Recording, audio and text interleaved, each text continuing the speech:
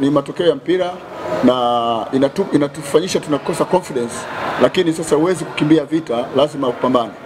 Na niseme tu kwamba uh, tuna bado tuna, tuna changamoto kidogo ya squad, kwa maana ya kwamba tuna wachezaji karibu, ukiangalia ni wale wale kila siku, na wengine tunatarajia wakati wote wanaweza kamaliza mafunzo yao wakaungana na timu, kwa tukawa na timu iliyokuwa imekamilika.